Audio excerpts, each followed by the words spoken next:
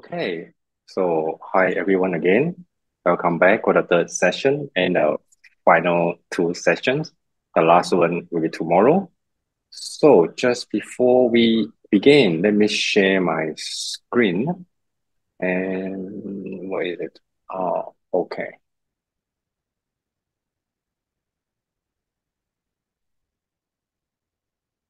All right, can you see clearly? Okay, let's join our palms together and let's recite together. Homage to the Blessed One, the Arahant, the perfectly enlightened one. Homage to the Blessed One, the Arahant, the perfectly enlightened one. Homage to the Blessed One, the Arahant, the perfectly enlightened one. 南无本师释迦牟尼佛， 南无本师释迦牟尼佛，南无本师释迦牟尼佛。Thank you, and uh, please release your hand. So thank you for joining us again. Um, so this is a third session. Uh, as promised, we're going to talk about the three natures and um, dependent reality. Okay. So first of all, just before we just before we begin, I want to look at the homework for last week. Yes, uh, we asked everyone to do a sitting meditation 10 minutes a day. Okay, just for this first part, all right?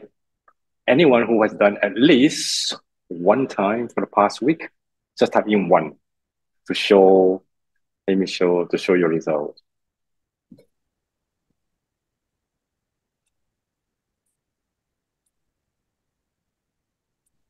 Right. So we have at least one, two, three, four, five, five, six people, more and more coming. All right, great to know that. So, any questions regarding the sitting meditation? Like when you are using your breathing, or when you are doing because last week we were we were practicing how to um, be mindful on our bodily sensation, like whether it's pleasant unpleasant, whether it's neutral, or you're just doing on breathing meditation, it's also fine.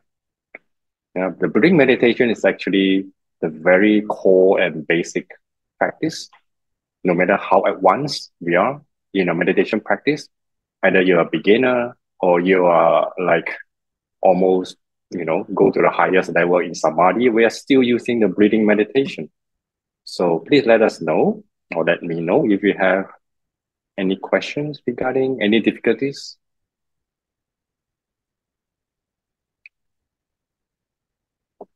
It's good. Okay, so when you have time or when you need to ask questions, just type in and let me know.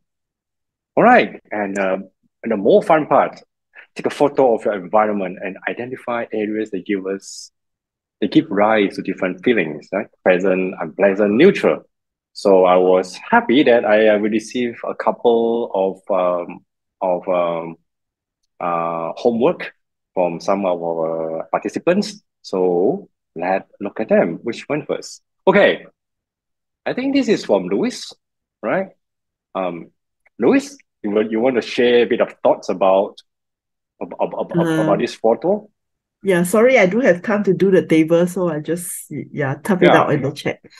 Yeah, uh, okay, yeah, yeah. That's that's why I just screenshot the whole thing. I know that that is how how it works. Yeah, okay. This is my meditation room. So I meditate yeah. in this room every day and I do my homework in this room as well. So uh the the Buddha's image as well as the Buddha statue will give me a kind of like uh calm and peaceful. And then when I look at them, I'm ready to do my meditation, my homework. Okay, so there's yeah. a green color, yeah.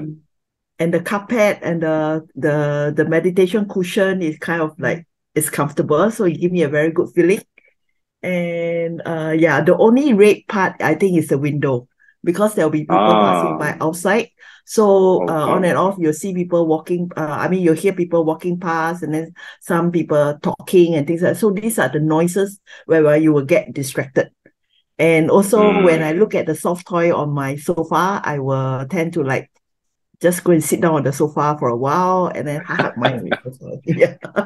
So isn't yeah, that the green? Why is it red? uh that is distraction because I'm supposed to be doing my homework on the cushion. Uh, yeah. That is interesting. So you know that you enjoy it, but somehow there's there's there's there's a voice on the other side of the brain that tells you no no no. Yeah. Yeah. Yes. Work harder on meditation. yes. Okay. Yeah, great. So yeah, I really like that. You have a very comfortable and really roomy meditation room. So there's a separate room just for your practice.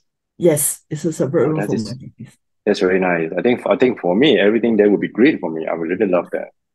And then on this side of the room is actually a small table whereby uh when I do my homework, I will sit there. I will sit there instead of uh, on the sofa. In fact, I seldom use the sofa. La. It's just that sometimes mm. when you feel lazy, you know, you you feel like you want to go there and lie down on the sofa, but so far not yet. not yet. exactly, exactly. So far is sometimes really uh, distracting. Yeah. Yeah. I remember when I first moved in um, to where I'm staying now, me and my brother Monk. Remember this house actually uh we rented. We came in with all the uh um uh with all the furniture equipped. So in the middle of the big living room, there's a very there's a set of very cozy sofa and a very huge TV. I think it's about 70 inch. The owner was so kind, he left us for us to use. So I look at my brother Ma, I say like, we are not going to sit in a sofa anytime in the day and watch a TV, right? So why are they here? so you know what? At the end, we moved the sofa to the storage room. Mm-hmm. and then we asked the owner to take back the big TV. So it's empty, right? And then we put four tables from IKEA. We mm. set it up, then it became become our office now. So next time maybe I can show you my our photo. Our whole living room is just nothing other than a big office for mm. us to stare at our screen, to do our study and do our work. I think yeah, this feel more like this feel more like our life. because I can't imagine myself sitting in a sofa with my brother monk and then we watch TV together. I don't think that would be the life that we are going to have at all. So yes, mm. so sofa is something, you know, mm. even though we know that we want to enjoy, but somehow, you know, it, it, it also like there's a different voices like, hmm. okay, anything else you want to add? Uh, actually, the the the Buddha's image on both sides of the yeah. wall it, it actually helped. It actually helped and stopped me from actually lying down on the sofa. yes. I, I realized exactly. that you, you, know, yes, it, it really yeah. stopped me from lying down because he, you you you cannot put your feet on on either side. mm. Exactly. Very smart way of doing it, yeah. Very smart way. Okay. Thanks, yeah. Luis, for your sharing. Okay, let's look at the second one. I forgot which one this is from. Is it from? Okay. Are you online? It's from me. Yes, Sharon? it's from me, Venerable. Yeah. Okay, come on, share with us why they are okay. green why they're red. Okay, this is a picture of my school. And yeah. over here, this where we have our recess time, where we have our break. So you see the green areas is the furniture where we can sit and watch the fountain and the fish swimming while watching, keeping an eye on the students. And then uh, for the blue portion, that area is actually the staff room. So it's a very clinical thing, getting work done, meetings, serious stuff. And then for the red part, that's the part where it's going up the stairs to my classroom on level four. Actually, it's yeah. not really red because it's good exercise when you climb up. But when you're climbing up and down six times a day, that's when it becomes red because it's very tiring. Yeah. I can imagine, yes. Hmm. Is it true? Yeah. Is it is it the school that where you're working? Oh yes. Yeah. it's a big I I always have this question in my mind. Like I remember in my primary and secondary school, we have like we have five floors. I never I think we never install the uh the elevator in a school compound. I wonder if it's the same for all schools. Uh, no, in this school, there's the elevator. So there are ah. times when I'm really tired, so you send the students up by the stairs and I'll take the lift. you take the lift and you send your students by, by the stairs. That's Yeah, that's or, or when they've gone home, yeah, then I'll take the leave. Ah, okay. I Yeah, but this that's really a school in Singapore, yes. But it's a bit different because this is a school for uh, special needs students. So it's um built in a special manner. Mm. uh I think like as like elevator is something uh, necessary because we need to take care of people with all kind of uh uh physical you know uh, physical situation. So some people are, are not able to climb a stair, then they might be become something quite necessary. Yeah. Okay, Mm. so red because you climb the stairs, staff room, there's a place to work. Okay, I can imagine. Sometimes can be a source of happiness, sometimes could be a source of stress too. So excellent. All right, thanks Sharon for your sharing. Okay, we have more to come. Uh, who's that? Okay, this is actually my room. So Robin? this is yes. Okay. So this is actually the room in my background, actually. okay, so uh, okay, maybe I just walk from left to right. lah. So one of the great things is my computer. So I mean I think yeah, I, I feel enthusiastic when I look at my computer because I like working. I mean I like doing my work on my computer and I use my computer for for Dharma work, like like for example for this for this session itself. So besides the computer is a red area that is the window, which I am a bit dislike because sometimes it noise comes in from outside and sometimes the heat comes in from outside. Then next to the window Hmm. is my wardrobe, which I put in gray in gray because I feel neutral about it. Like I don't particularly like or dislike my clothes. Then besides my Hmm. wardrobe is my bed, which I also put as a neutral feeling because I'm sort of like a bit split up over it. Like I think I enjoy sleeping, but, but I also think sometimes I sleep. I, I tend to feel like sleeping too much, so that's not very productive.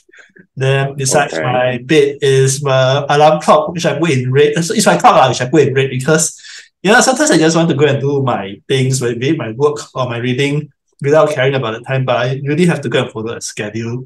So yeah, that's why I have a hmm. bit of dislike for the clock. Then uh okay, then after that there's another green area which is my meditation cushion, which I put in green because yeah, I usually meditate on it. So I like meditating, so it gives me calm and happiness. Yeah.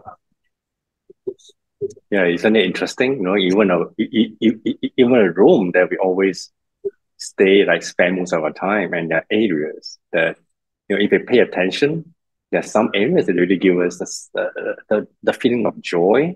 Like you know, when sometimes when you feel tired, oh no, I'm going to be meditating for you know in fifteen minutes time. Sometimes you feel like you're looking forward to, but if you circle blue on your bed, maybe okay sometimes it changes, yeah, the feeling may be happy, sometimes maybe, oh, I should be doing more. Okay. Yeah, yeah, this is exactly, you know, we, we know how we feel, like even just standing in a small space, you have different feelings. So sometimes the feelings can be shown in your mind, but sometimes your body will, will, will actually give you signals of how you are feeling, how you look at things. You might feel a little bit anxious. Sometimes your, your, your heart may be pounding when you're looking forward to something. So these are the signals that we, when we're doing mindfulness practice, so these are the signals that we try to pick up. So by doing this, uh, taking a photo and going to a space and, and try to immerse ourselves in the space and, and examine how we feel and how we look at them. So this is the first step of mindfulness, of understanding how we relate to our environment. And then we can expand the experience of when we are dealing with other people, like what kind of feeling arises. It's a very interesting experience. Oh, I mean experiment.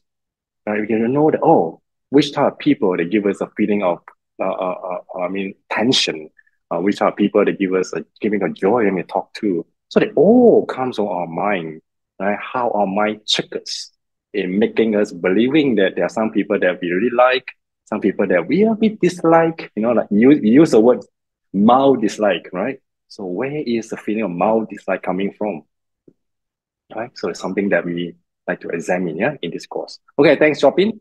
Thanks for sharing. We still have uh, two or three more. Okay, let's go to the next one. Um, okay, this is the kitchen.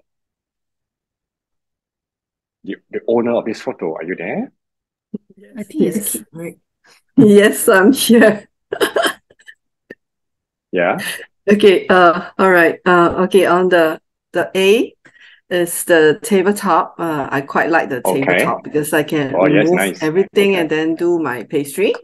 And then uh, the B area is like near the toilet. uh, it's actually a place where I can add a table there and then uh, Ah. do drawing. Yeah, some drawing. And then the the C is the light light uh, box. It's actually um uh, some switches that I do not like is done wrongly actually. Then I we cannot remove it anymore. So uh my husband did a light box for me so that I can uh use it as a tracing tracing light ah, for my drawing. Mm, Then also, uh, okay, for the D part, the D part is very depressing because that side is so high up.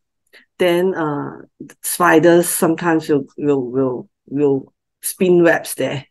Then I always have to use a vacuum cleaner to go and suck out the spider. It's like I 杀生.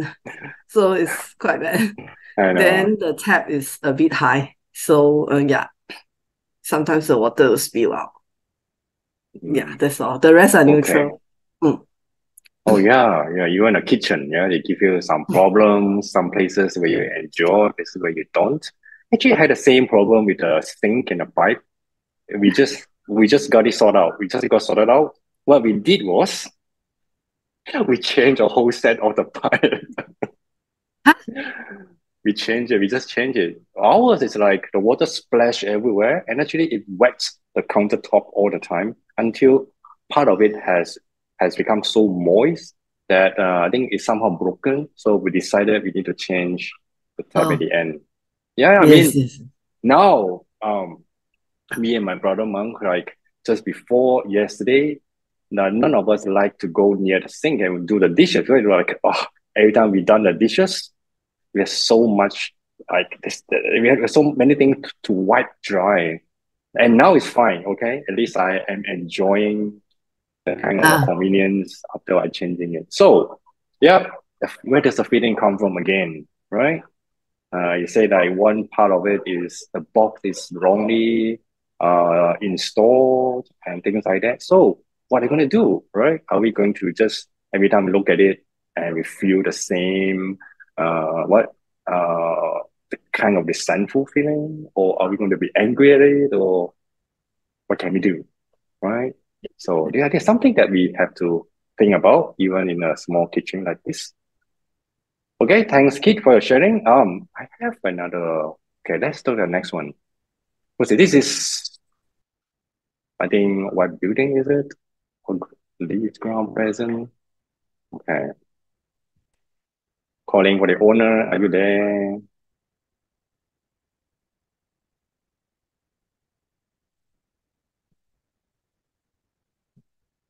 No? Okay, just if not, then I just simply go through. Um, we had beautiful trees because give you a pleasant feeling, having a good feeling of the nature. Okay, see birds, dark grounds, unpleasant. Why is it unpleasant? Because they give off ghost story feeling when dark and have smelly, smelly smell sometimes. Oh, okay. Okay, leaves, pleasant. The air is very fresh in the morning thanks to the leaves. Okay, even a garden, right? There are spots that we don't really like to go near to. All right, thanks for this participant. This is very good uh, observations. Okay, this one. Yeah, this one I really broke into laughter when I it gave me a good laugh when I when I when I saw this. Yep. this one, um, I we woke up like 5 a.m. and uh, right up to Upper Peirce. So I always go there to catch sunrise. So Okay. the uh, feelings generally is very pleasant, uh, except you know when you cycle up, of course it's panting lah. But um, uh, when you're hot and sweaty, sitting down there is uh, and then get, while you're waiting for the sun to rise, um, the feeling is actually very uh, nice especially every time the sunrise is very different. Sometimes you get to see the sun sometimes you don't get to see because of the you know uh, dark clouds. So uh, the only unpleasant things of course the mosquito because sometimes you can hear them you know going around your your head. So especially now the dengue uh, uh, has been there. Uh, so, but of course, we we spray uh we spray uh this uh, uh what you call the uh, insect repellent. So overall, Mm. it's a very uh very pleasant, very nice feeling. Uh, watching the sun rise every day. Mm. Yeah, wonderful. I do like watching the sunrise, even the sunset too. Yes. I I remember once I took a picture of the sunset, and uh, actually I could never tell the difference between a sunset from a sunrise. Exactly. Yeah, you, you can say even this is a sunset too, right? I think everyone will believe you. Yeah, yeah, yeah, yeah. How can you tell? I really don't know how, how to tell the difference, but yeah, it's wonderful. Mm, thank Mm. you. So when it's too many mosquitoes, yeah, okay. So almost impossible to circle them. All right, thanks for your sharing. Thank you. Okay, let's look at the last one. May I know who's this? We have a swimming pool. Oh no, no, not swimming pool. The track, running track. It's a running track. So um yeah. So Kenny? picture. Okay. Yeah, yeah, yeah, it's my picture. So it's a track just next to the place I live. Um, what I like most is actually the combination of color, the blue color on the track, and uh, the plants beside it in green color, and somewhere far from it got a mountain. So it's all give me sense of energy, and also Mm. give me a sense of refresh and relax. Yeah. So that's why I would think they are very pleasant for me. But um, Mm. the holes on the track, I just uh, circle it with, with red color because um, it's kind of make me worries. People may Mm. trip over when they run over, Yeah. And also the shadow underneath the bridge. So you know I can't really feel the sunshine. So so, it, so I just circle it as well with red color. And the building beside, because there are far too many buildings in the city, so I think it's quite down. So I think just uh, neutral. So I just mark It's it a black. oh, it's neutral. It's black. Yes. Okay, Yeah. that's that's another feeling too, right? Yeah. Okay. Yeah. It seems that you are you are you are a very um sporting person. Yeah, you like to do the exercise Yeah. a lot. Yeah. Hmm. Okay. Do we can we come to a conclusion that you know when we are looking just a simple sport like a place like this, we have different feelings toward it, whether we like it, whether we dislike it, or whether we feel you know neutral about it. So no matter how big the place is or how small the place is, there's always sports that we find we feel pleasant about it and we feel unpleasant about it. So if we applied it to our relationship with other people, this is exactly the same, right? When we say that, oh, I don't like that person, right? So next time we can take a photo of that person, right? Circle him up. Which part that you don't like? Is it the head, the nose, the eyes, or the hand? Right? Try to analyze and find at least find one or two spots that you really like. Oh, I enjoy looking at his hair. Maybe he's a bit annoying, but at least his hair is very stylish, it's shining, right, all the time. So maybe that is a method for us to train to see things from different perspective. Right. So because from the Buddhist point of view, there's never anything that is completely pleasant unless you achieve nirvana. But that is not possible when we're still here, when we're talking here. So there's nothing that is completely pleasant or completely unpleasant. For same as person, there's no one is completely annoying and no one that is completely lovely, lovely to us. So, so this is a technique. I think I hope we can go through tomorrow. That that is a question that we ask ourselves all the time. How do we deal with anger? Right? When we talk about uh, yogacara, we talk about all the mental factors, all the all the emotions that we have had in our mind. So the practical way of dealing with our emotion, of course, is to understand them, and then we find a way to tackle our anger. I hope we can go through the exercise tomorrow, but this is one method that we can that that I always use is when we feel like we don't like anyone, we hate someone, analyze it from different perspective draw something about this person. Tell yourself what exactly that you don't like about this person. And ask again, maybe there are few sports, there's few, there are few characteristics that actually um, tolerable. You can tolerate them, or you or, or you even admire them. So when you release them down, right? Usually at the end you will find that oh, no, it's not too bad. Yeah. So some most of the time the anger it just dis, it just disappear after we do the analysis. But of course, it's very hard to do when we are still at you know at the highest point of our um of of the anger. But there's something that we need to practice. So from doing a picture of an environment is so the same principle apply to whatever we're dealing with every day. Yeah. So this is uh, the Yogacara way of uh, how to deal with our mind. All right. So up to now, any questions? Anyone want to add anything?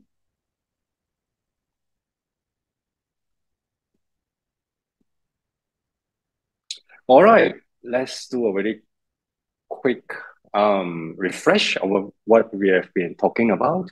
We talk about the central principle of Yogacara, right? We talk about mind only. In Chinese, we do we call it Wei Shi.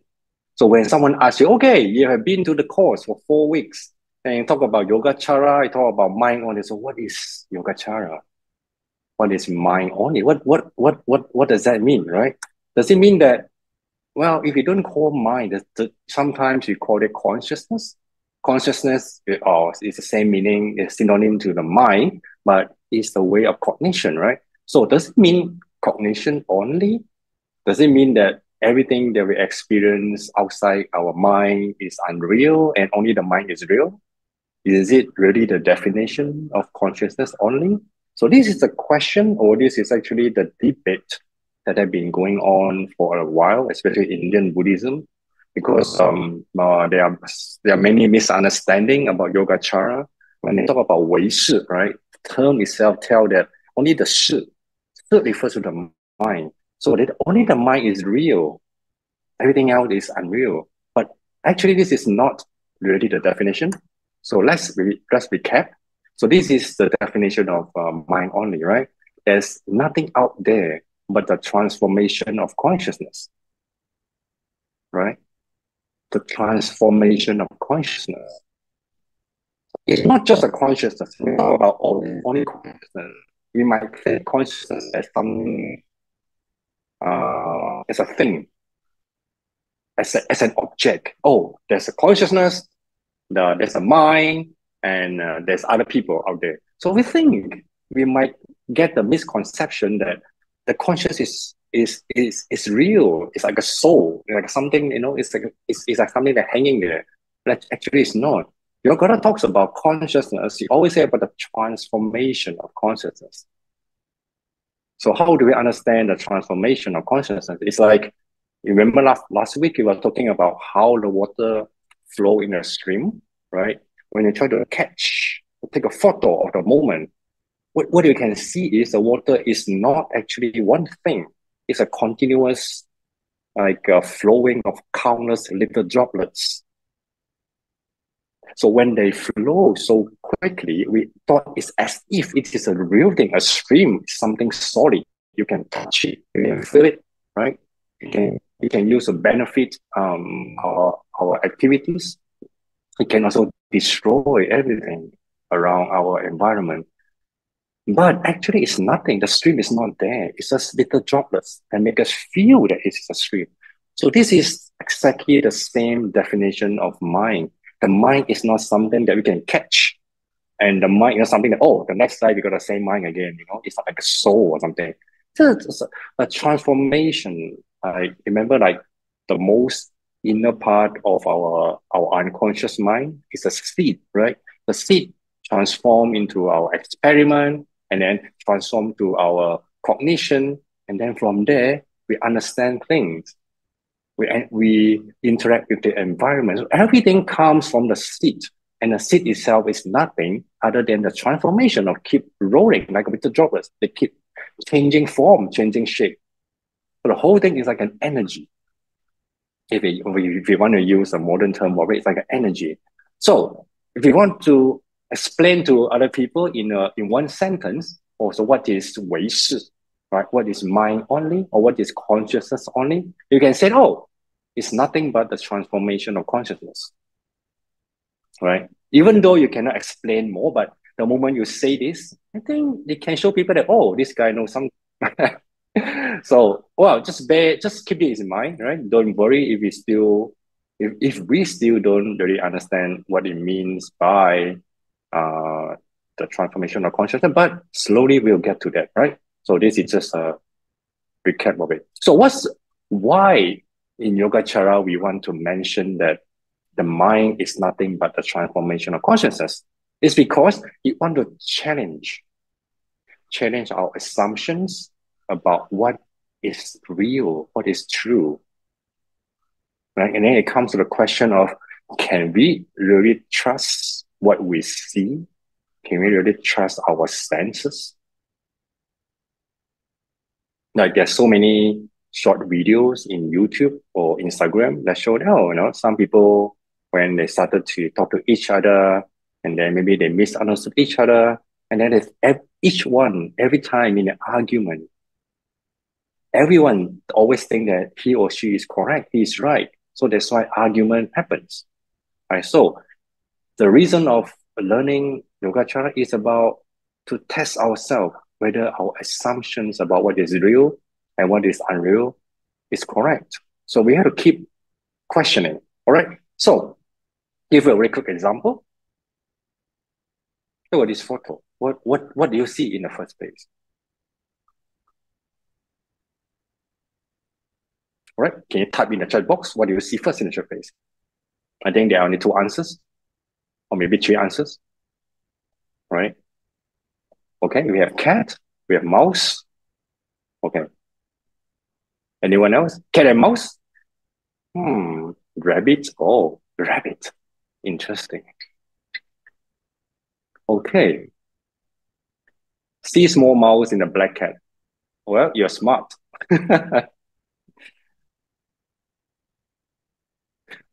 All right.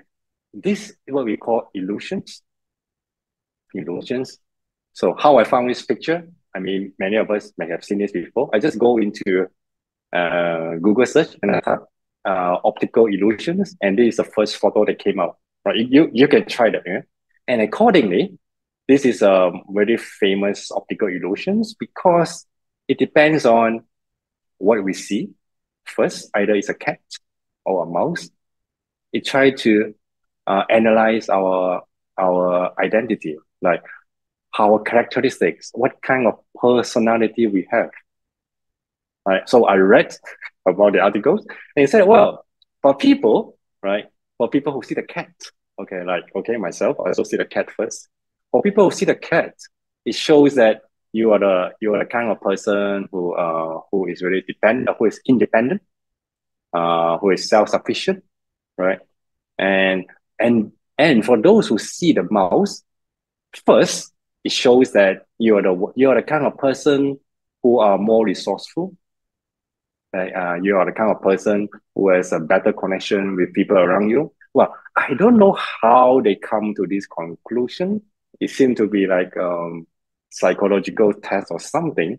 But this is how it works, right? If you go to online and you see so many what they so-called psychological tests to try to find out our our trait in personalities.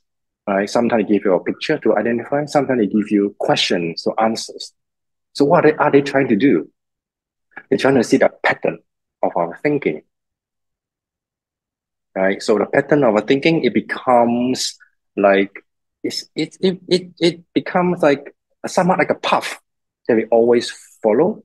If we have the same, let's say we have a characteristic, certain characteristic, it forms like a pathway, and that pathway becomes so concrete that we always follow the same path, no matter what we are doing. So this form our personalities. So this is the explanation coming from the psychoanalysis, right? So they say, oh, everything you see, everything, even some some, some even analyze dreams. They say, oh, what, what you see in dreams, it might tell you something about yourself, your future, and your past.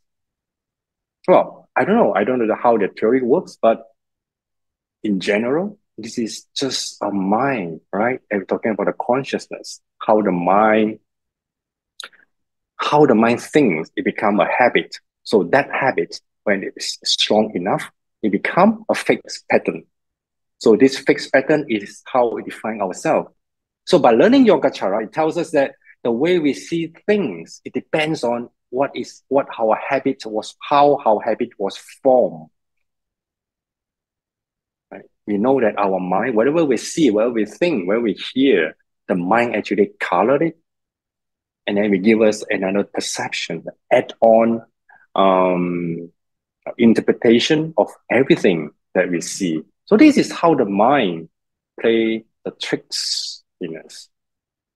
Okay.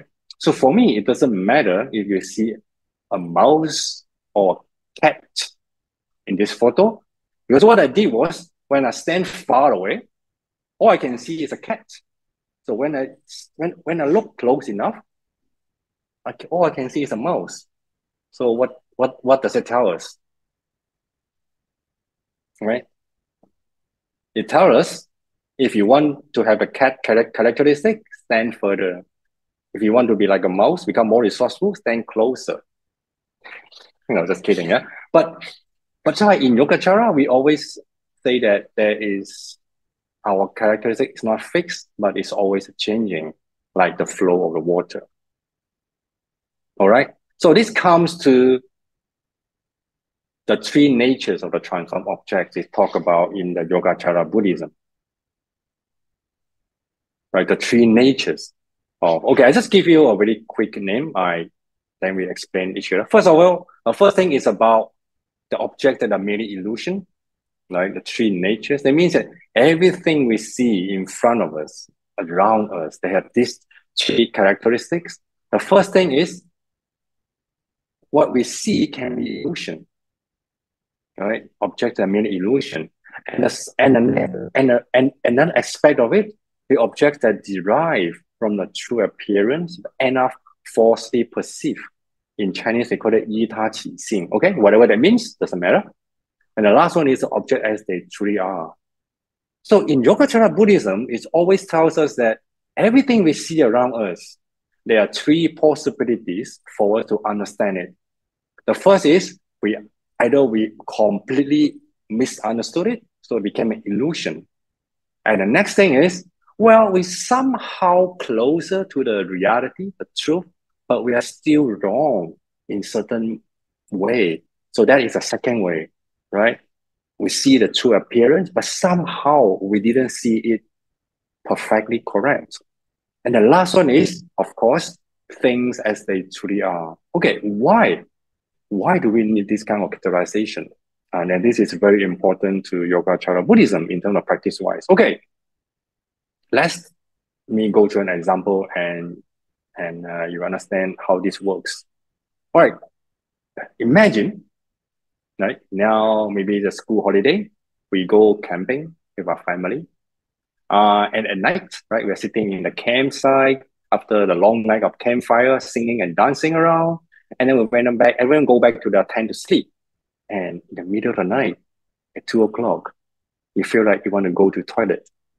Right? You got out, you got out of the tent and the environment was so dark. So you're walking on a path that leads you to the toilet.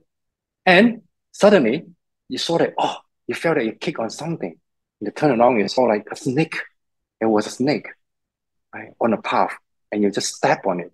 So you were so scared, you ran back to your tent and you scream and yell and, you know, and you didn't dare to come out anymore. So you waited until the next morning. All right. And you told your friend, there was a snake there, you know, I stepped on it. I think, I think I killed it, but it didn't bite me. So you went out with a friend to do the, to, to survey, to see what happened. Well, and what was there was actually it was a rope. It was a long rope that looks like a snake in the dark night un- under the dark sky. Okay, so then, oh, then you wonder, okay, so that is actually a rope, but not, you know, but not a snake. All right, then your friend, yeah, maybe he's a scientist or, or somewhere, or, or you know, or or or or, or an uh, or quantum physicist. They pick up the rope and say, "No, my friend, this is actually not a rope. Look, so he unwind all the strings, you know, that bound together become the become a rope. He take out piece by piece and he keep tearing the little piece of fiber. Look, no, this is not a rope. It's nothing but some fibers bounded together. So these are just fibers bounded together, but give it a name we call rope. All right, so let's ask ourselves, what is exactly there? We see the same thing, right? Lying right in front of us. So in the night, you thought it was a snake, but definitely wrong, right? So that, that was an illusion. But then in the daytime, when you look, oh, it's a rope. I can pick it up. I can I can use it to tie up boxes. I can use it to do anything. There's a function of it.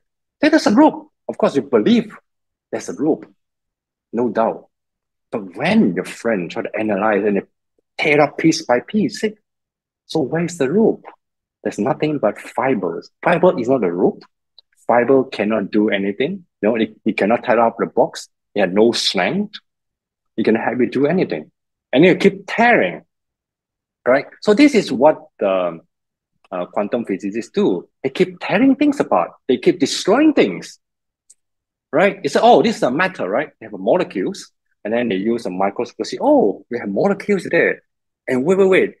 A molecule is not the end, right? Mo- mo- molecule is nothing but a big, big circle, right? Big, big thing. Inside there's a nucleus. You have a neutron inside. It's surrounded by what electron and proton. Actually, an atom is not something solid that we can, you know, that you can pound on. Actually, atom is a is empty space, look like a sphere surrounded by flying electrons and protons. But is it the end? But now we keep going deeper and deeper. Say, oh no, no, no. Atom is still not the smallest. It's atom is not real. You look at the neutron, right? Even the atom itself, in the center, the neutron itself, we have something even smaller called quarks. And now we know even the quarks is something smaller called strings. So at the end, we pick up a matter and we keep chopping, know, and we keep making it smaller and smaller until the end we find the strings. But who knows? Maybe 10 years from now, we get, oh, that's not a string. You know, it's something that you can even cut smaller. So at the end, it becomes what? Empty space. Everything just disappears. So this is why this is how the quantum uh, mechanics they come to the conclusion that um, matter is not real it comes from energy that's why we say last week that this is why einstein's um, uh, equation of uh, e equal to mc square works. E is energy m is matter the mass like the c the speed of light. So energy can transform into matter. Matter transform back to energy. You see, transform, transformation. What we just said about what is Yogacara mind only, transformation of consciousness. So even in the physical world, something that we think is so solid and real is nothing but a transformation from energy into like little string. I, I'm just guessing, right? I'm not a I'm not a quantum physicist, but I think that would be the end. And then we come to become a quarks, and then the quark become neutron, neutron form atom, atom form molecule, molecule form matters, physical thing. So ask ourselves, so what is really out there? In the end, we keep searching and we no answer. So from Yogacara point of view, we have to doubt ourselves. What we see as real, we always analyze them in these three steps. But what are the three steps? First thing is illusion. Oh, it looks like it, look, looks like a snake. Remember in, in the cave, it looks like a snake. So this is an illusion. So in Yogacara, this is the first level of understanding. It's always an illusion. So when it comes to a second level, and it, because under the broad daylight, you see, oh, it's not a snake, it's a rope. The rope can be useful. So this is what we call the second level understanding thing. It's a perception because it turns out to be something more solid, more reasonable, and then if we keep digging, what is the truth? It comes to the highest, like the, the deepest level understanding thing is no, in fact, oh sorry, it's a typo. In fact, it is actually what? Nothing other than strings, energy. Right? I don't know what it is. We have to wait until you know we find the answer, but still we don't know. But so this is how the Yogacara um, uh, theory works. It tells us about how we see the outside things.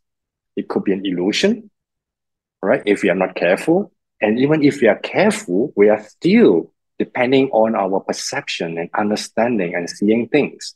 And at the end, can we ever reach the final stage of the seeing what things are really are? So this has become the goal. It has become the goal of our practice. Right? So why do we need to know this? Why do we want to categorize the understanding into three categories? Right? Um, I remember when I was uh, well, just actually it just it just happened a while ago when I was driving on a highway. I was driving back from Ipoh to Kuala Lumpur, so I was on a highway, right? You know, the highway speed is 110. So yeah, I was quite, I was, I was a very, um, I think, um, uh, uh, uh um, um, uh, good behavior driver. I stick to 110, right? And then I was overtaking a, a lorry right, right next to me. So the lorry was going much slower. I was overtaking over, but then came a very, a very fast car. It mm. was I, I don't know whether it was going 140 or, or 150. So he wanted to overtake me, but I was overtaking the the the lorry and I couldn't go more than like 110, 120, right? So, but he keep horning me, flashing. He wanted me to to go somewhere, you know, to give way to him. So I look at the back mirror, I was like, where should I go? Mm-hmm. I'm in the middle of taking over, you know, like going like taking over the truck. Where should I go? So Okay, but what happened was at that time when I hear the honk, when I when I saw the flashing of light coming to my eye, I don't know how you feel, but at that moment I was I was angry. I was like, what kind of person, you know, what kind of um a reckless person, like in like like, like rude people who do this kind of thing. At that time I was really I, I was I was really angry to be frank. So what I did was I didn't even look back. I just, I even purposely slowed down a little bit, you know, just to keep, you know, to my 110 speed limit.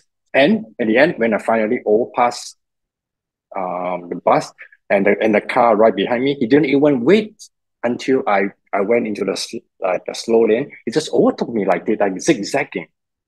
And then like, it's almost like giving me like, uh, to, to show me how angry and uh, how impatient he was.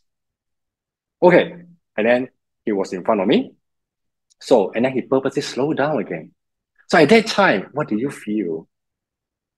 I feel like my anger becoming even stronger and stronger. I was like, okay, I already tolerated your behavior.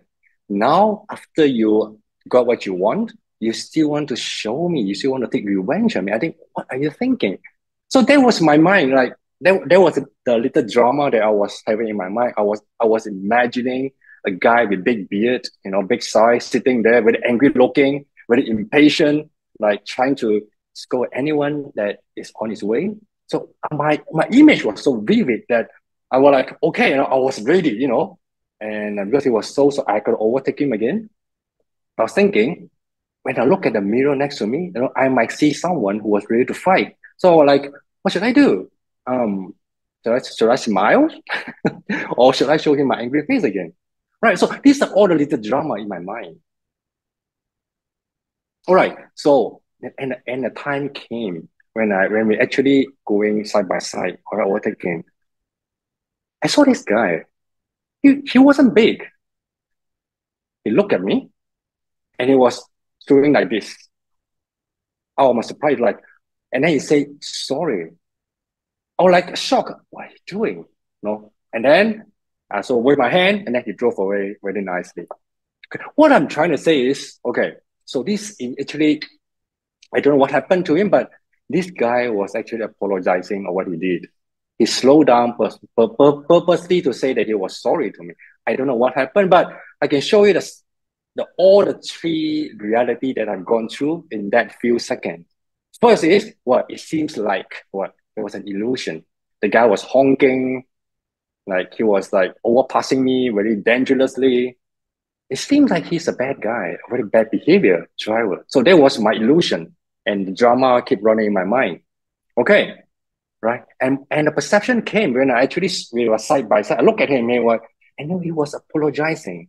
I know that he was really in a hurry, right? And after you would talk to me, I think maybe somehow he wanted to say thank you or sorry. I don't know, but so it turns out to be that he was sorry about that. He was in a hurry. Okay, so that was like we are a little bit closer to what actually happened but still not yet the final answer, right? Who knows the truth? Because I didn't talk to him, he didn't talk to me. I didn't know what the truth was. Maybe, I don't know, or was he honking? When he was doing the honking, was it because he was anxious, he was angry, or because he was worried? It could be anything, right? So these are, this is why by understanding um, the three I mean, three natures of everything we see and we experience, we come to doubt um, our assumptions, our thoughts, because that our assumption about somebody else, somebody behavior, always come from our previous experience, right? Or the drama that we play, they're all they're they're not real, but they're illusion. But if we don't take our time to slow down, to digest what's happening, to rethink from different angles, then we will then we'll be falling into a trap for own illusion, and maybe the unfortunate uh, incident might happen. That has happened to many people. Road accidents, road bullies. It's all coming from the very first impression that is always an illusion, without knowing what was happening. Uh, even our perception about that, oh, what guy was saying sorry, then even that actually we had we, we still that's still not the final answer right? Maybe i was wrong. Then think about oh maybe i was blocking the road. Maybe um the speed limit for 110 is just for people like me. Maybe for other people it could go maybe faster. I don't know right?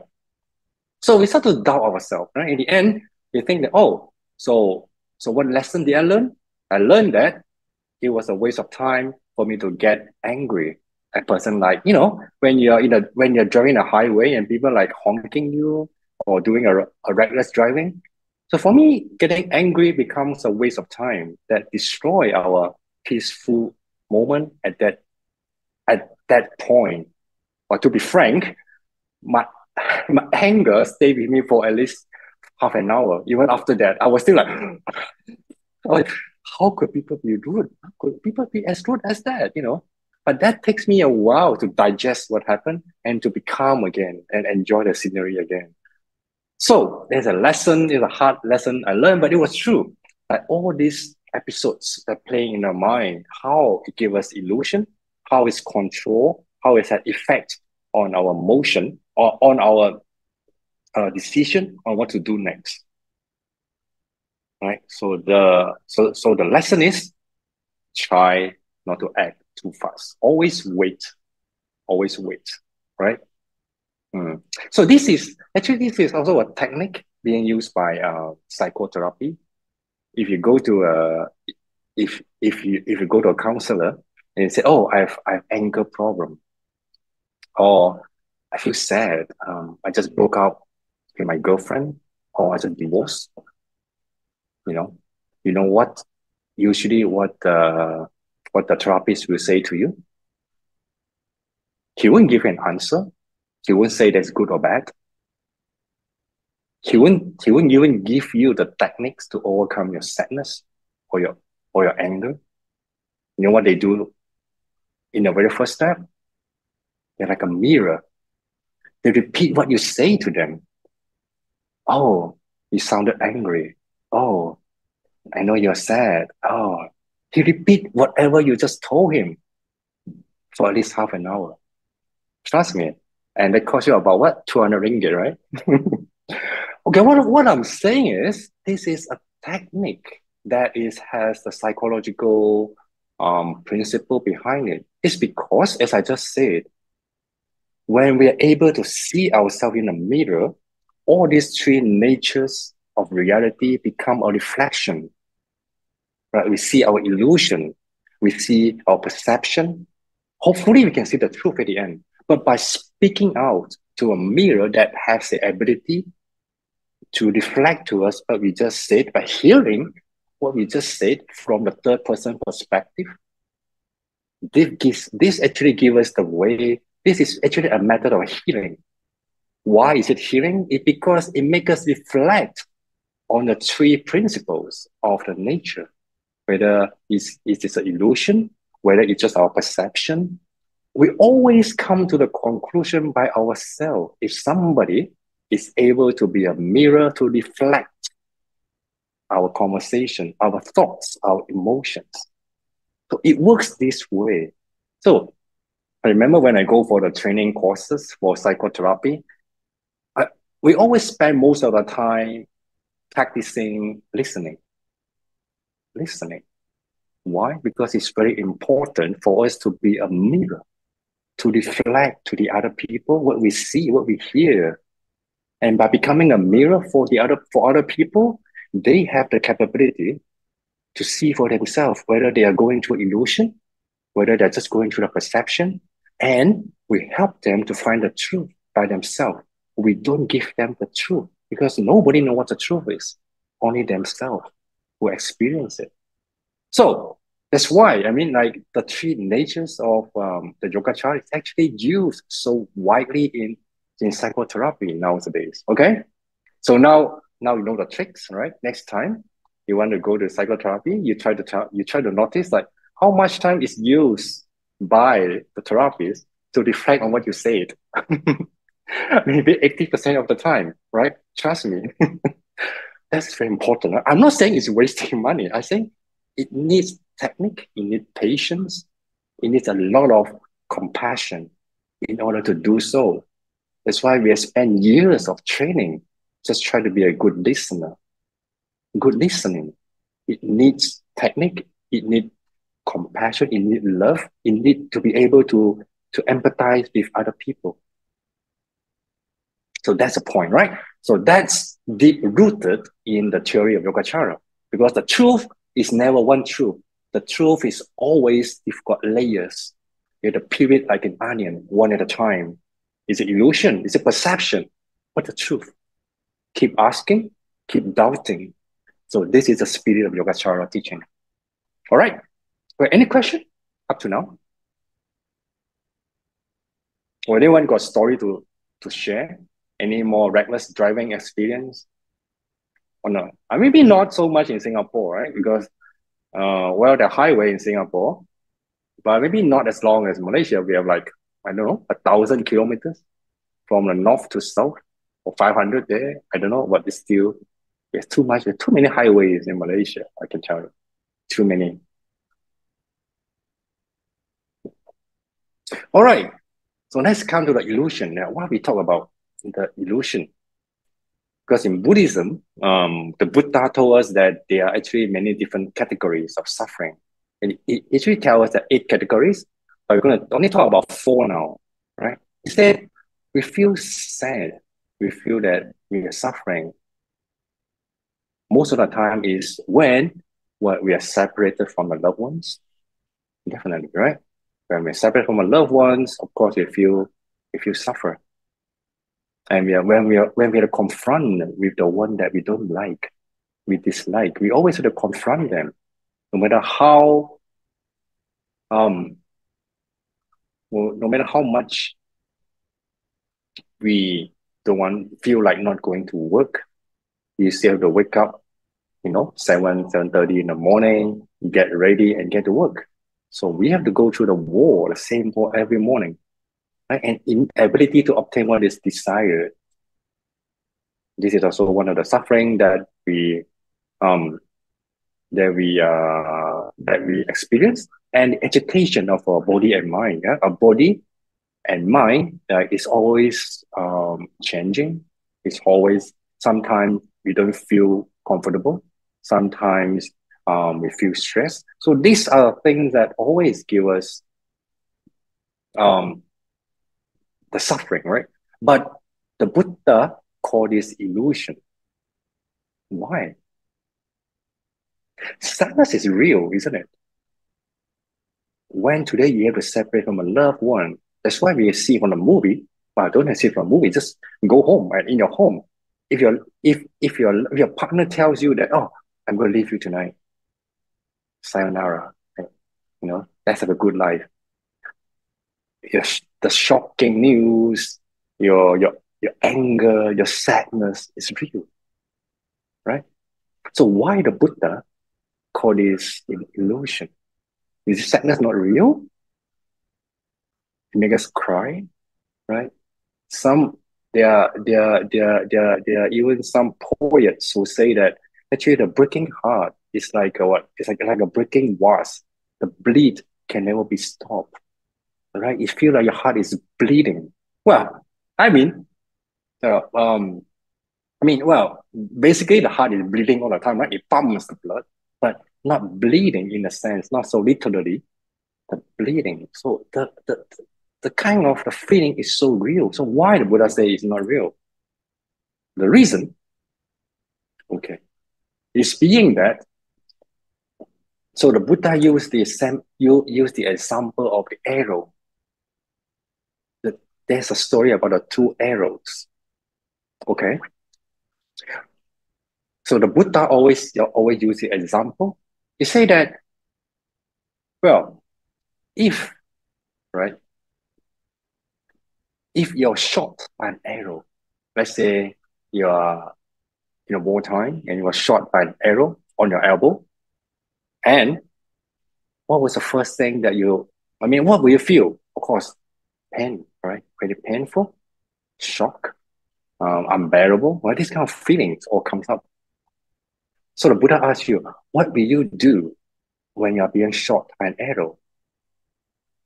The answer is simple get what? Going to see a doctor right away, right? Or we get medical attention right away, or we pull out, or we put medicine, cure our cure the pain. So the Buddha asks again, will you ever, when you're shot by one arrow, will you ever pick another arrow and stuck yourself on your other elbow, on your other shoulder or elbow, whatever? No, right? So any, so any um, everyone, no one will ever do that. Will use an arrow to stuck themselves by the second arrow. So this is exactly what we do emotionally, the Buddha explained. So sometimes when we feel pain, when we feel loss in life, right? So this is like the first arrow that hit us. Oh, I'm so angry, right? And then after we feel angry, there's another voice at the back of our head that tells, oh, you shouldn't be angry. You're a good Buddhist. But how can you be angry? You should you, you should look at emptiness. You should be uh you you you you should be more compassion. You should love other people. And that kind of judgment is a second arrow that comes that we pick it up and we struck ourselves. But that is usually the second arrow that is more harmful than the first one.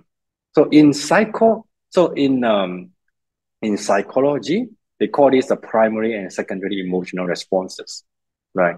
Primary means that the first, um, the very uh, instinct or very first emotion they have, like uh, shock, anger, right? These are the first, the primary emotion. It's real, like it happens to us. But instead of after we feel anger or sad, instead of trying to deal with the emotion, we use another, we use more emotion to shock ourselves. Like, oh, why should I be angry to myself? Am I a bad person? Oh, because I'm bad, then you know I feel angry because I'm bad. So this is how he treats me. So all these second thought, they are like called a secondary emotional response. And so it tells us that whatever um, that struck us is actually not that important the important is, the more important thing is how we react to them. So the Buddha say the first arrow hit us when a painful event occurs, and it hurts, of course. Yeah, it hurts. But the second arrow, which is our reaction to the event, only adds to our pain. So that's why what we what we were saying just now, like all the separation from loved ones, confrontation with hated ones, inability to obtain what is desired, agitation of our body and mind, all these are like a second arrow that, that we add on ourselves, right? For example, agitation of body, when, when we are sick, when we're having a fever, It's just a fever. It's a heat. Like your body become warm, right? You feel a little bit dizziness. All right, that is a sickness of the body. But when you're under so much pressure, you say you have to you have to give a talk uh, at night to 30 over people about yoga Yogacara thinking, and you feel like, oh, you're having a fever and you're sweating. So that kind of um uh I mean pressure, that kind of like, oh what why why should I go to it? I shouldn't have gone out last night to the mama, you know, to un, until I got like until I got uh in un, until I got infected, you know, by the virus. I shouldn't have done this, and done that. So all these judgmental thoughts, they add up, you know, on the bodily um, ag- agitation and make us feel worse. So this is a second arrow. So the Buddha said, this is always, these are always um, the illusion to us. This is always illusion. Right? So think about something. So what other thing that I mean fear? Fear usually runs on illusion. Think about one creature that you're afraid most. Think of it. Have you got nothing you're not that you are not fear of?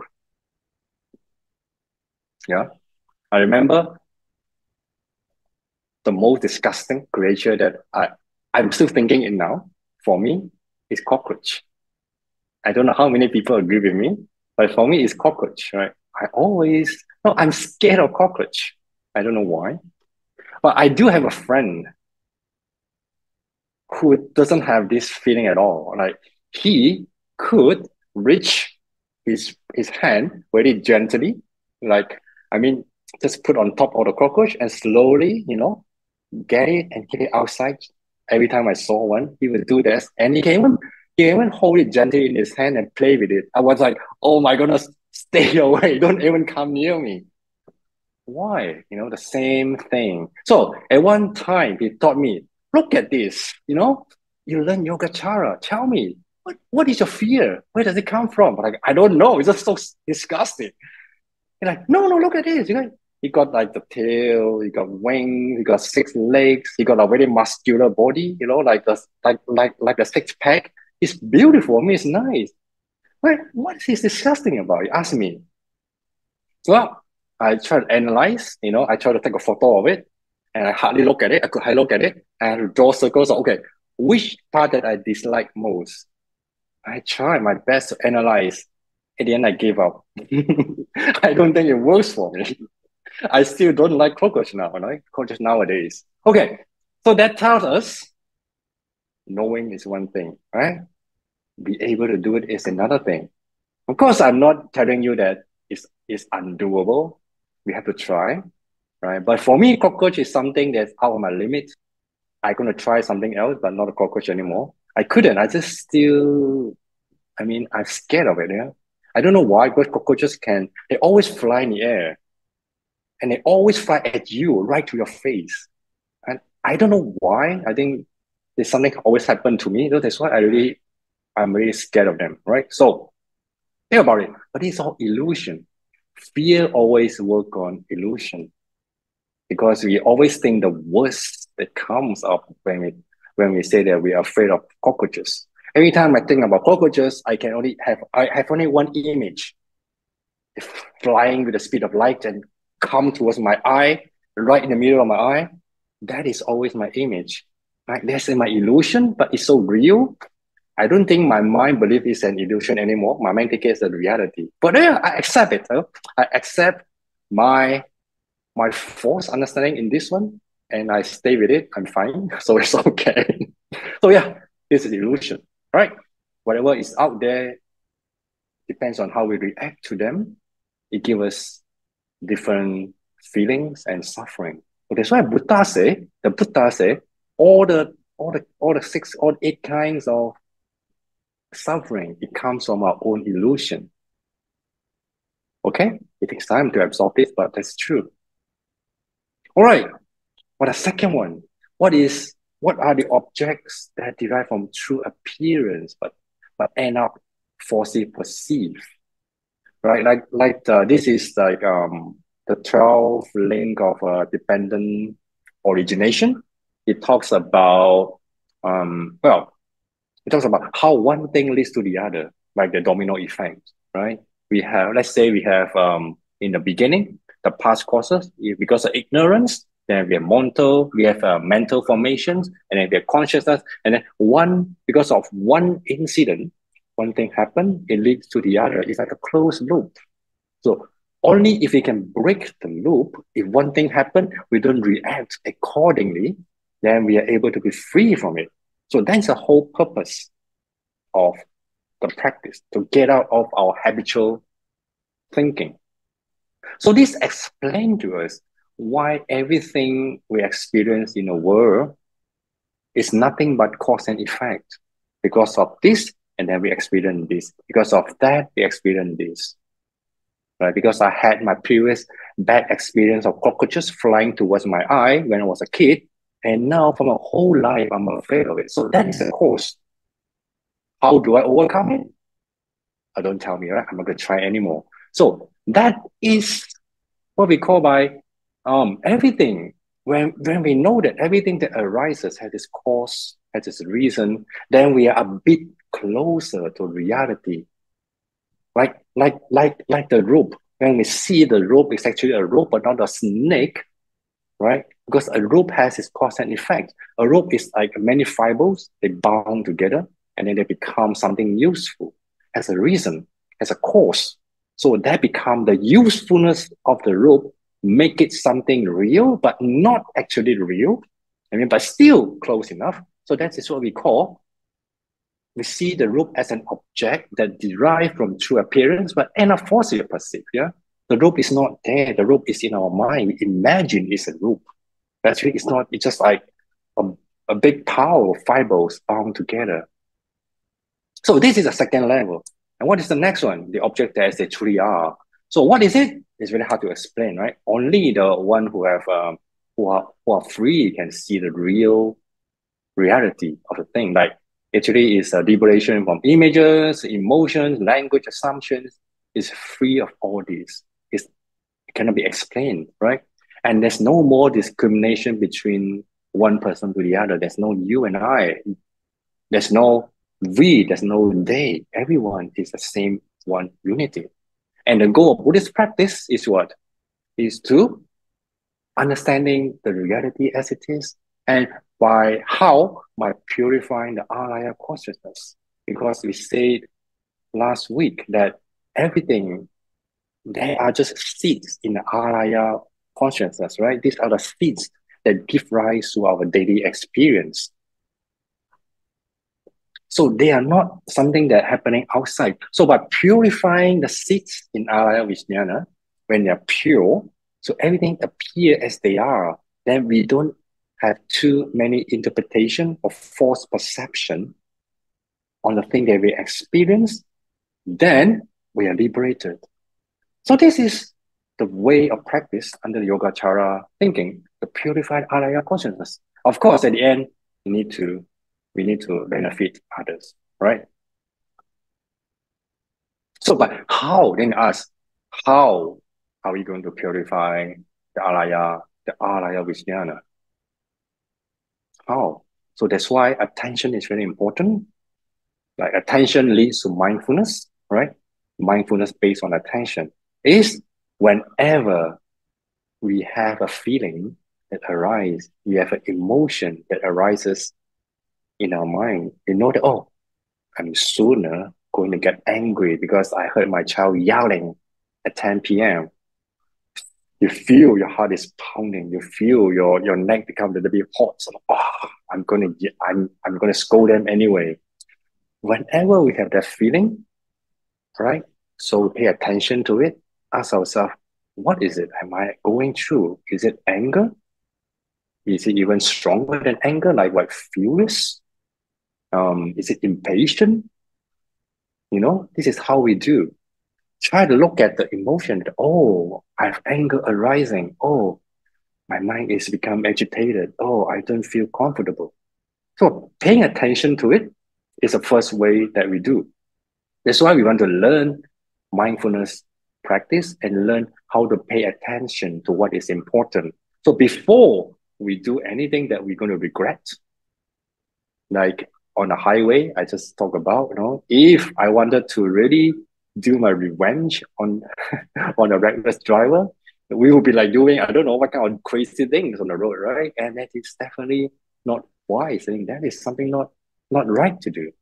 So pause, pay attention to what we're going through. Be frank to ourselves, tell ourselves, oh, I'm going through anger. I have the feelings coming out. As long as we can do that, that is practice. That is going to break the cycle of leading to the next thing to happen. And by doing that, our seeds of anger will become smaller and smaller. So this is a way to purify the Alaya Vijnana. There's no way else. This is the only way. So be mindful, pay attention. Okay? So I don't know any question up to this moment. So we just talk about the three reality. Uh, this is a yoga Yogacara way of seeing the external world. And why do we need to know this? It's because it helps us to create better relationship. It helps us to overcome our emotions easily. Well, I mean, easier. I won't say easily. Yeah, it's never easy, but a little bit easier. It gives us a method to deal with our mind and and, and how we experience everything around us. We, we we can give ourselves an option to see things a little bit different than before. Okay, so this is why we need to know the three natures and how to use them, right? But okay, now let's go and actually do it. Right. That's why the last part of this of this um of this lecture, we're going to talk about uh, that we're going to do a practice. It's called mindfulness of emotions. Right. Okay. So, but before that, um, before that, just get ourselves a little bit warm up uh, I remember last week, uh, I promised, I promised you all, we're going to do something called standing meditation, right? I hope you remember. If you don't remember, we can just skip it. So we're going to do it, right? So this is what I, this is what I'm going to do. Standing meditation from this very lovely illustration from from from a Japanese website, and it really explains what it is. Okay, put in simple way, right? There are few things that actually is very similar to sitting meditation, being mindful and pay attention, right? Okay, before we stand up and do it, let me just really go through it quickly. Right, there are few things that we that that that we that, that to um uh, consider. First, when you're standing, keep the head upright, you know, gaze forward at a 45 degree downward. And of course, relax the shoulders, right? Put on the side. Keep the waist straight and relax. Not too much, you know, don't force ourselves to go forward, but relax. And um, now this is very important. The forward is very important. We try to lower our buttocks a little bit as if we are sitting on an imaginary chair. Easy to understand? But not quite easy to do. Anyway, going to try afterwards, right?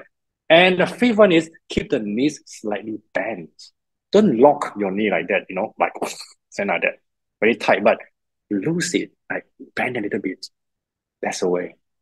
And then do not like puff out the chest, like, oh, I'm, I, I want to show you know myself to be very energetic. So you to pop my chest like that. No, don't have to, but it's natural. As long as we keep our our our back straight, you know, the chest, we can just relax our shoulders and this will be natural. And slightly engage your abdominal muscles inward, you know, slightly tucking your tummy a little bit. Don't let it come out too much. Right? And when standing, the two feet, you are imagining your two feet are like the like the tree roots that's going down, like like like like like growing downwards into the ground, deep into the ground. So you don't actually force your feet to be stable on the. You're, you're imagining your feet is like the the root of a of, of, of a tree that's growing downwards. All right, enough of theory. Let's do it. Right. Want to um, stand up? I try to stand. I mean, as far as I could, so you can see me. Right now, we want to do standing meditation. First, we can open up our feet, right? It's about about the same um same width with our shoulder. Like you don't like you don't like close your feet like this, or you don't like open up like doing a yoga, no. But standing like as far as your like your shoulder, almost like same width. That is a more stable position. All right. So when standing, so keep your head upright, like gaze forward 45 degrees. Relax the shoulders. Keep the waist straight and relax. Can you do that? Right. Now the fun part. Lower a buttock a little bit. Like imagining your buttock is pointing downwards and you're almost sitting on a chair, but not sitting yet, but almost sitting on a chair. Right? That gives you a little bit of downward force. Right? You know, you you will notice that by doing so, you will bend your knees like automatically, right? Your knees will be bent. So that is a natural way. This is how our body structure works. So bend the knees a little bit, right? Draw in the chest a little bit, draw in the stomach a little bit, right? Now you you you can imagine your feet actually like a like a going tree roots that going all the way down, meaning it goes all the way to the earth to search for water, and there you are, standing in a way that is more stable, and it doesn't use much of your of your force. And if you ask me, so how should we stand? Right? Let's say imagine it's your feet. Right? I know that in some kung fu or tai chi, they will teach us, oh, you should you should be like this, you know, 90 degrees, parallel. But actually, that is not what we are doing here. We have to do that in a natural way, slightly bent like this. It's like a, a character of eight, right? We call it in Chinese the Ba Zi It's slightly, this is more natural instead of this. So when there are people are training for Qigong, then they're doing this, right? But now we are not, we are doing standing meditation. So this is the way you bend it a bit, like natural, so they become a shape of a V shape. This is more natural in standing. Okay? Right, let's try again. Standing firmly on the ground, head straight, back straight, right? Your buttock sits slightly on an imaginary chair. Bend your knees slightly. And of course, if you are in an MRT or something, your hand is still holding, you know. Hmm. So yeah, this is how we are. This is how we can be standing in the MRT when you're waiting, when you're in a transit to work or in a bus standing. So this is how we can practice stand very firmly. You can even close your eyes slightly.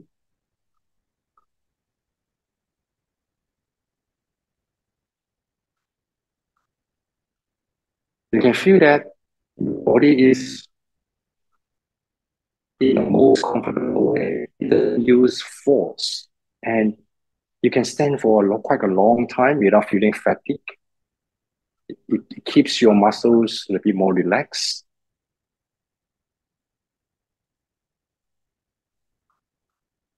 So what should we be thinking here? So when we know our body is stable, our posture is stable, you can come back to our breathing. Just know that we are breathing in, breathing out. breathing in, breathing out. You see, your mind will be focusing on the posture of your body and you also pay attention to your breathing.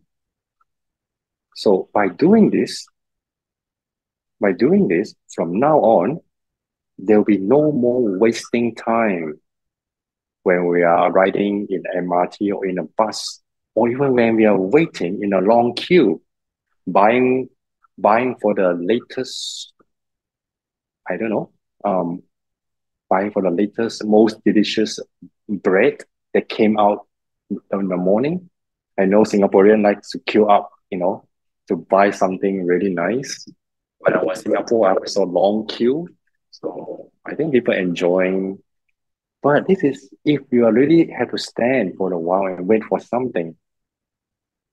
By doing so, no time is wasted anymore. Even when we are standing doing nothing, we are practicing how to correct our body posture and how to how to pay our put our attention to our breathing and be focused in the present what we are doing. So by doing so, no more time is wasted.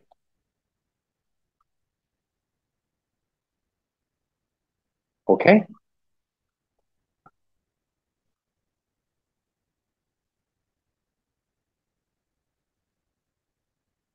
All right. I hope can do the exercise. Um, okay. Let's move on. All right, we talk about emotions. What are emotions in Buddhism? Actually, in Buddhism, we don't use emotions. We use emotion is um is a Western term. Actually, we say mental factors. Mental factors. It's just a different category, but we use emotion here for the ease of understanding. So, in Buddhism, we have the wholesome emotion, just like the, you know, we have three categories. The similar thing we have for the bodily sensations.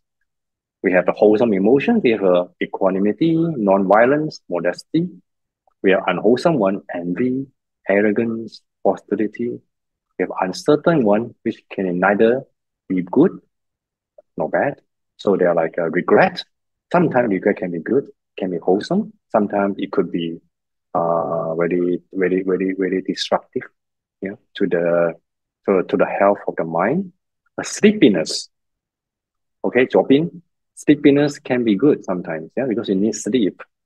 Don't don't be um too strict to yourself, yeah. When it's time to sleep, get enough sleep. So it's uncertain, all right. In Buddhism, in Yogacara, sleepiness is uncertain. It's not unwholesome. It's not. It's not an unwholesome thing. It could be either. And doubt, doubt can be good. Like if you have questions, remember, if I doubt whether it's an illusion or is uh, something that is real. Doubt some many times doubt give us uh, the way to learn the actual uh, truth. So the same thing in the Western psychology, like we have basic emotion like happiness, which is good, wholesome. Sadness, anger, fear, disgust, and unwholesome one. And surprise, it could be uncertain. Like surprise at good things, surprise at unwholesome things. Okay, these are the categories of emotions. Um, the principle is we have to identify them. Uh, you know why afterwards. Why did I identify them? Name them. Identify them. Learn the name. But the first thing, learn the name. How? I give you a very beautiful um, periodic table of human emotions. And what is wonderful, right? I really love this. You have love on the left corner, right? empathy, serenity, compassion, gratitude, admiration. This belongs to love. And then we have what? And we have the yellow color, joy, satisfaction, enthusiasm, euphoria. You know, euphoria is more like, you know, crazily happy, I don't think. Like, like it's, it's, it's, it's, it's, like a crazy joy or something. Surprise, ecstasy, optimism, happiness. And then we move the way to red, right? We have like a bad mood.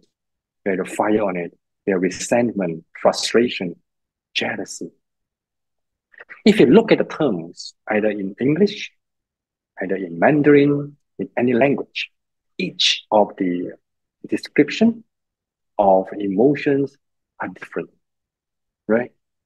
Resentment is different from frustration, and frustration is definitely different from jealousy. And jealousy is not the same as envy and arrogance, right? we have to learn how to name them. Why? Why? Because in doing the meditation practice, learning how to use the term can make us identify what we're going through. Remember, we want to do mindfulness practice is to pay attention. But when we are paying attention to emotions, we have to be able to name them. Yeah, if you cannot name them, you cannot pin down what is going through in your mind. Then what's the point of paying attention? But paying attention means that you look at it, you know what it is, you know they're different from like the the emotion I just said just now, and now I'm experiencing this. So being able to name it is the first step in doing the mindfulness of emotion. Right? So these are the these are really basic concept that um okay. Let's do a very quick um exercise. Yeah, I have a few questions. Just just to learn our uh practice our vocabulary. Okay. Now your parent who has found your nine-year-old child looking at a child, you say, What do you think you're doing? Okay, at that point, how are you feeling when you say that? Can you just quickly cut down like any kind of uh, emotion that, that you might have? Yeah, randomly, like any the angry, furious, what else? Shock. Yeah, worried. Excellent. You see, irritation shocked, curious. Oh, wonderful. Why are you smoking? Hmm, what brand is it? Yeah, I wonder. Is it marijuana? Ah. I'm just just kidding, yeah. Yeah. Curious. How could my son do it? Right? Puzzled. Where did he get it? It's expensive, I know. Why did he got it? Right? These kind of questions. You see, everyone has different emotions under the same situation. But the thing is, be able to name it Right? You name it and to, to, to say it very clearly what are you going through. Okay, next one. Your husband and wife and your partner just told you that you're the most wonderful person in the world. How are you feeling at the moment when you hear that you're the most beautiful person, a wonderful person in the world? How does that feel to you? Nothing. Mm, okay, I really feel nothing. Happy, happy, and it's on top of the world, right? This is a very interesting um, uh, description. Valued, loved.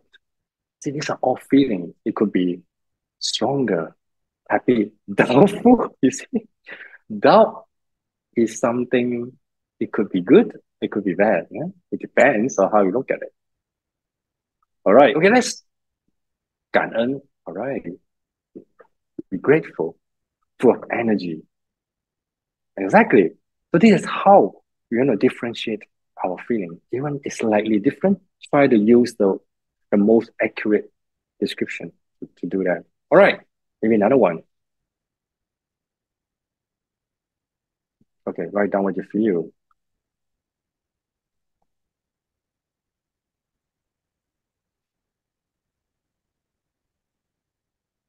In other words, your sisters is better than your brother and sister are better than you.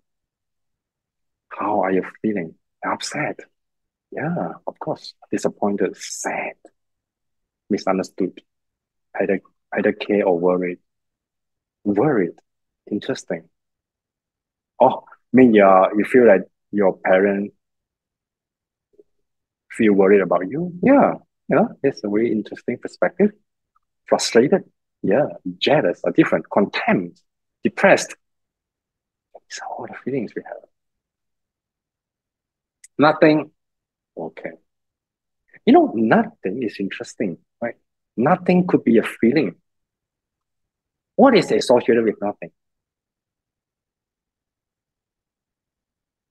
I can think about feel bored, right? When, when we feel bored, actually, oh, nothing, nothing what? Nothing interesting right? And we're saying nothing, that means that usually we say nothing interesting. Or there's something, but it doesn't really get my attention. So it could be something like um, something boring. So nothing could also be an emotion, right? Think about it. Right? What is nothing? Okay, right. I think you get um you, you get the idea So I'm not going to do a few more because of time. Okay, let's talk about how we're going to do it, the mindfulness emotions. So it is more subtle than mindfulness of body feeling, of course. Yeah, bodily feeling is just focus on one spot of the body and we tell ourselves whether it's pleasant feeling, unpleasant feeling, or neutral. But emotion, because it's, it's, it's much harder, right? You have to really look carefully. So what are we going to do? When emotion arise, observe and label them, right? Look at them, give them a name. Jealousy, it's envious, right? As well as our thoughts and reactions. So when we feel angry, what is what are we saying to ourselves? Are we scolding ourselves, getting angry? Or are we feeling pity to ourselves by being by getting angry? Many, many different ways, right? Everyone is different. And then the more important is do not identify with them. Because Yogacara tells us that emotions are not me, they are not I. You tell remember in the first class we talk about there's no I. There's no something that we call the I. The I is an is a feeling, right? But emotion is just another feeling. So emotion doesn't represent my whole like at least the self here, right? Myself. So emotions are not me. So that's why I want to correct something that we say sometimes. When you tell your friend, I, I am angry, right? I'm sad. I am. What what what what is I am mean? Like instead of saying I am, we can say I feel angry. Oh, I have sadness in my mind. I have a feeling of loneliness. I have. I feel, right? So that by changing our way of talking to ourselves, next time you try to say, don't say I'm angry anymore. I have anger in my mind. Right? You tell your partner. When you say this, I feel that anger arises in my mind. Well, if you try to say this, I'm sure your partner will get shocked and like, are you okay? and then you tell him or her, no, I'm practicing Yogacara way of thinking. I have anger in my mind, but I'm still fine. I'm calm, but anger is here. I will let you know my anger is arising. And this is actually this is the truth, right? This is what's happening. I am, you know. It's not I am anymore. It's I have. I possess it. I do have the feeling. So emotions are like that. They're changing all the time. And the last thing we do is do nothing. When emotion arises, do nothing. Simply be aware and accept it. When I feel angry, I always tell myself, yeah, of course you feel angry. Yeah, it's here. Oh, I, I even touch my heart. Yeah, it's pounding. I know. The feeling is there. It's so vivid, so real. I know it's here, but it's okay. It's fine. You're still you. You know, you know, whatever it is, just slow down. And you know what? By doing, by just doing like a, a very simple action like that, in a, in a short time, your anger will reduce by itself. Because all the emotions are, are we call that inner child, like in a, in a, in a psychological term. It's a part of inner child that want our attention. It's because emotion has its functions why during the um call that um uh, in the evolution of human being, why do we need to keep the emotion in the amygdala? You know, all animals have emotion. Even plants have emotions too. But they're not, there's not a different way of function, right? It's a different way of, there's a different mechanism, but they do have emotions. But why in like a million, billion years of evolution, we still keep emotions in our brain because it has function. And what is a function? Is to warn us about dangers outside. So by thinking in this way, whenever I feel angry or you feel sad, tell yourself, oh, this is a signal coming from my brain. This is my self uh, defense system telling me I'm going through something dangerous, whether it's from the outside, whether from the inside. So pay attention to it. The moment we pay attention to it, your emotion will be satisfied. Because their function is finished, right? They want to get our attention and when we pay attention to it, but this is against our common sense, right? Right? This is what we do. When we feel angry, we suppress it. No, I'm not angry. No, no, no, no. You're kidding. I'm not angry, you know, but you're you're you're biting your teeth, but you're still telling yourself, I am not angry. That never works. If you try that, the more you want to suppress it, the more you want to deny, it it never works. So we have to go the other way around. Tell yourself, oh, it's here. Oh, yeah. Oh, welcome, man. I haven't seen you for a long time. Yeah, good friend. Thanks for telling me. Angry, anger. Thank you for coming back. Yeah, I see you there. Yeah, I see you. Okay, yeah, let's talk. Let's talk. Oh, pat it a little bit. Let's talk. What is it? And why? And what should we do?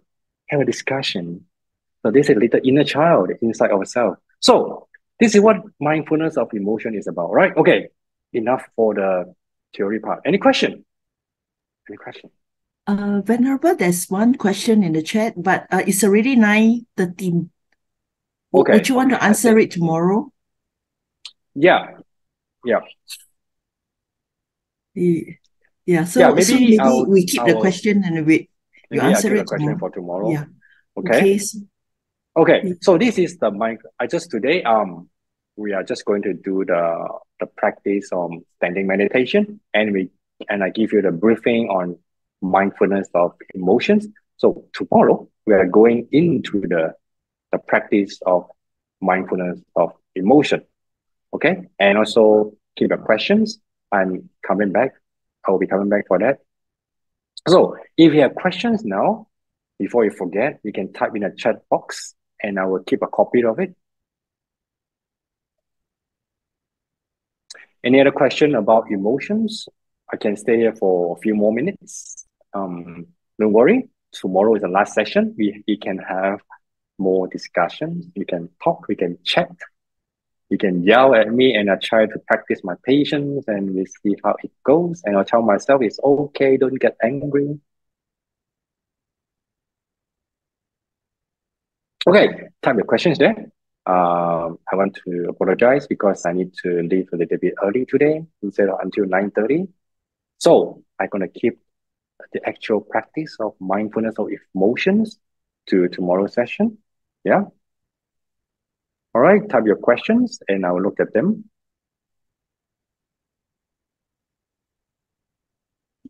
um, yeah, uh, they, they, they can also type the question in the, in the chat group, lah, WhatsApp chat group. Yeah. Okay, so let me, um, Okay, right. Venerable. So can we now invite you to lead us in the delegation of the merits? A quick one? yes, thank you. Let me share the screen again. Don't waste my function. I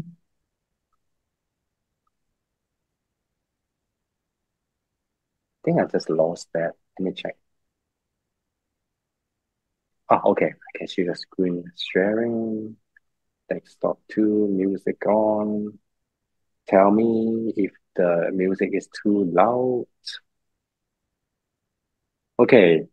Again, we invite Venerable Heng Shui virtually online to sing the merit dedication to us.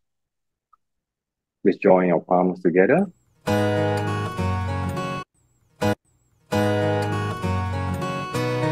Is it loud enough?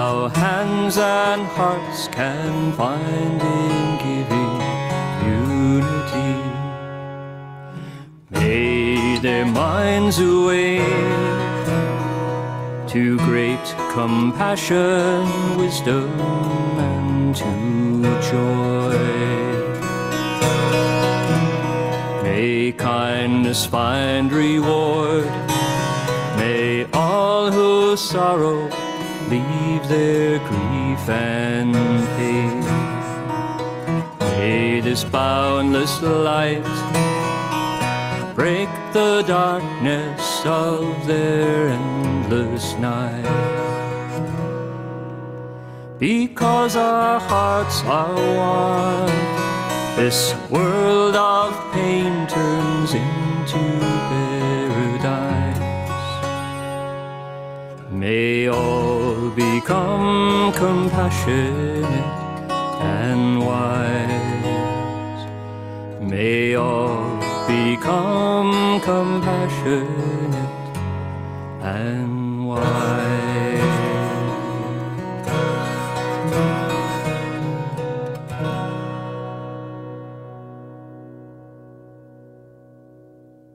All right, thank you. Thank you. Topin, are you showing the Buddha? Uh, okay, let us now uh, put our palms together and pay respect to the Buddha with three bows. First bow.